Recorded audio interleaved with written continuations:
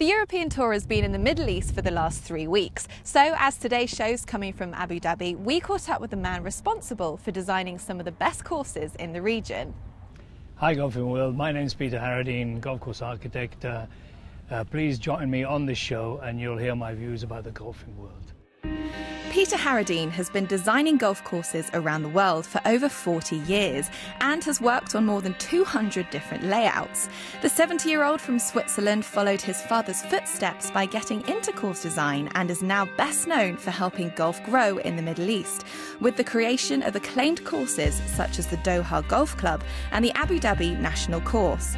He's never too shy to offer his opinion on the key talking points in the game, so we quizzed him on everything from getting more youngsters into golf to former players designing courses. I'm a landscape architect, you know, so I mean, basically, you know, we learned all about soils and drainage and all that stuff. I mean, I've played many courses in my life, but uh, no, I tried to be original. I tried to uh, to do something that. Uh, uh, you know, that, that pleases me or, or, I think would please the golfer, you know. But uh, and my son often says to me, you know, they've, did, they, they've done this there and there and they're copying what you're doing. I say, as long as they copy me, it's great, you know. The day they stop copying me, I've got a big problem.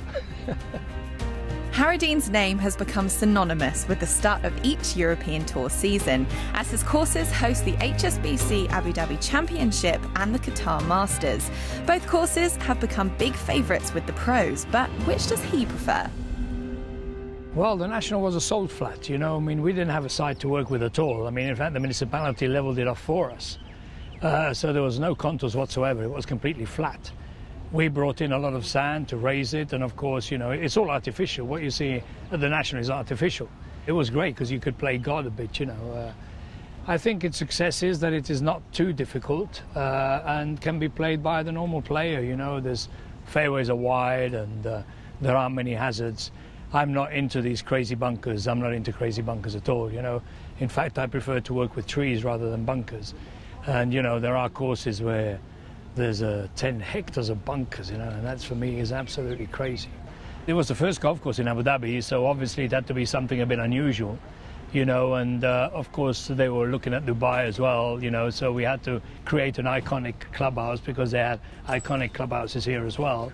And I just tried to create something which was a bit unusual without really using the desert feeling. And you know, Sheikh Zayed, who was the ruler at the time, he was the biggest gardener in the UAE. He loved trees, he loved gardens and everything. So I tried to create a park really in honor of Sheikh Zayed, a golf course within a park. Professional golfers have become increasingly involved in creating new courses over the past two decades, but Harradine has turned down several opportunities to work with some of them and has missed out on being part of a number of projects as a result.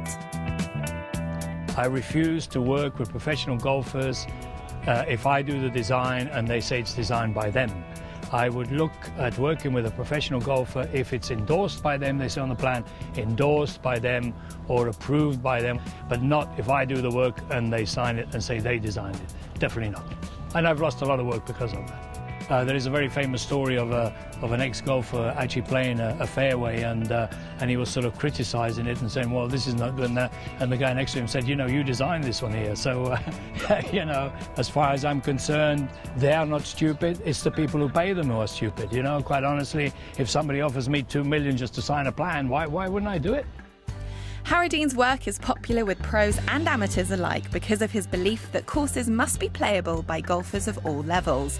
He also has strong views on how the sport could attract more youngsters to pick up clubs and get out on the course.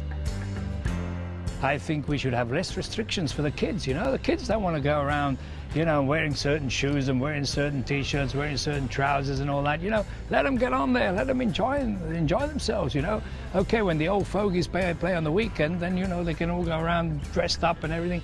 But on, during the weekday, especially on a Monday when there's nobody on a course, get the kids out there, let them play in whatever they want. You know, I don't think there's too much fun in golf, although I think golf is the best game in the world. So, after 40 years in the business, what would be Peter Harradine's perfect golf course? You know, I've never had a golf course by the sea. Never. I mean, a nice golf course by the sea with cliffs and everything like that, you know, there's some great sites, you know, but I've never had one of those sites, unfortunately. So, yeah, I, am really hoping to get one of those sites before I, I stop. Actually, you know, the best thing would be a third, a third, a third, you know, a third by the sea, a third in the open, and a third in the woods. Be great.